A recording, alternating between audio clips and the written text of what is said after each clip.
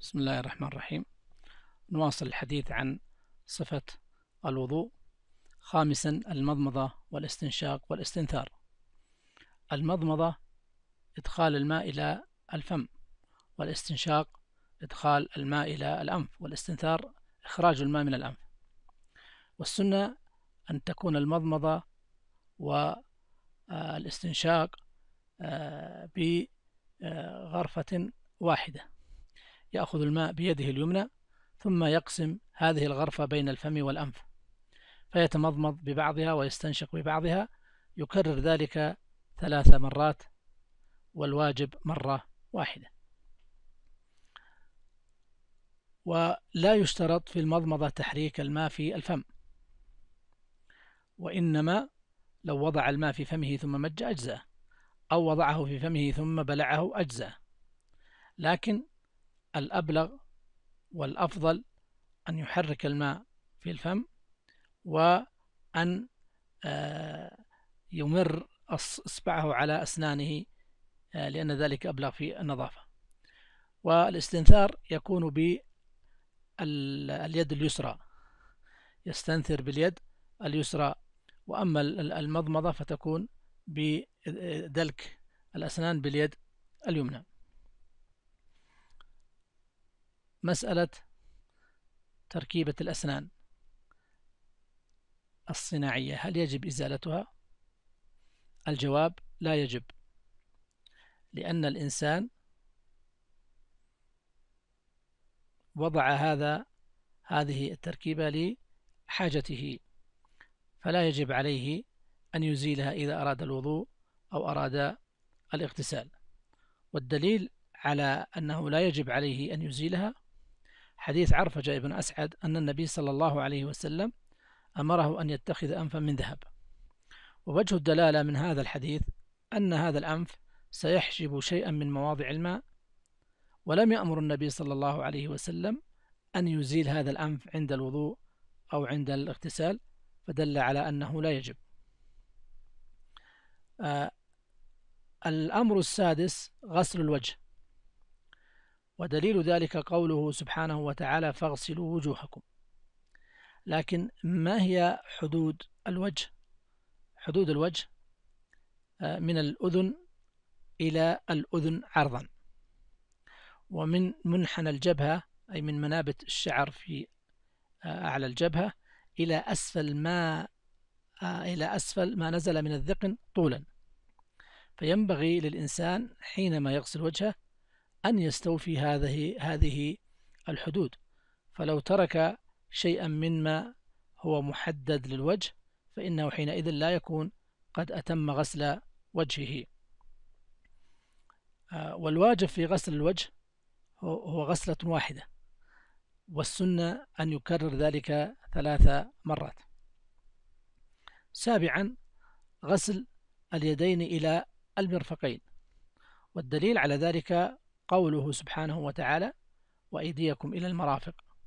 عطفا على ما سبق من غسل الوجه.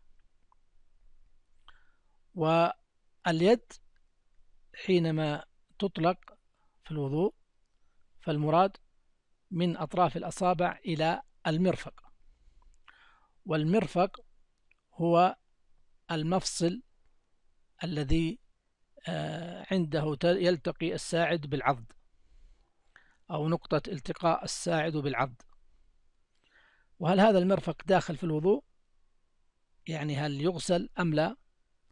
الجواب نعم يغسل وداخل في الوضوء لأن النبي صلى الله عليه وسلم بين ذلك فقد غسل اليد حتى شرع في العضد والرجل حتى شرع في الساق. وأيضا إلى هنا بمعنى مع بدليل قوله سبحانه وتعالى ويزدكم قوة إلى قوتكم أي مع قوتكم. ثامنا المسح على الرأس ومنه الأذنين.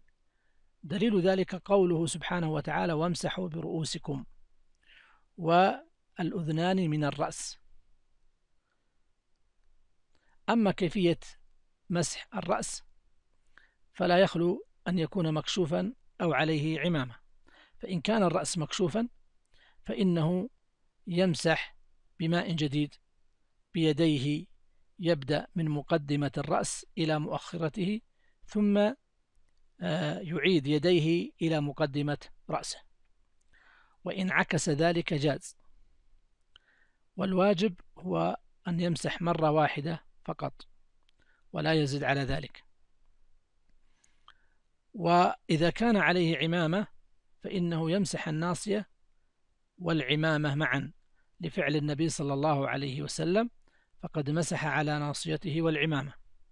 وكذلك المرأة إذا وضعت على رأسها حنة أو نحو ذلك مما يشق إزالته فلها أن تمسح على ذلك.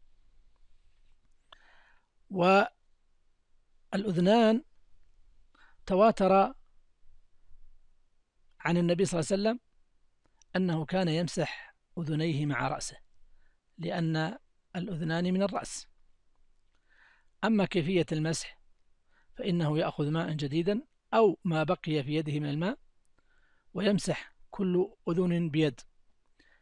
يدخل السبابة أو المسبحة آه، في فتحة الأذن دون أن يبرمها حتى لا يتكرر المسح. ويمسح بالإبهام على ظهر الأذن مرة واحدة. تاسعا غسل القدمين إلى الكعبين إذا كانت مكشوفة ودليل ذلك قوله سبحانه وتعالى وأرجلكم إلى الكعبين والكعبان هما العظمان الناتئان في أسفل الساق.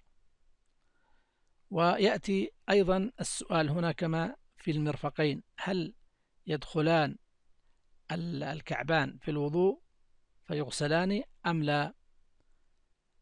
يدخلان في الوضوء لما سبق من فعل النبي صلى الله عليه وسلم ومن قوله صلى الله عليه وسلم ويل للأعقاب من النار.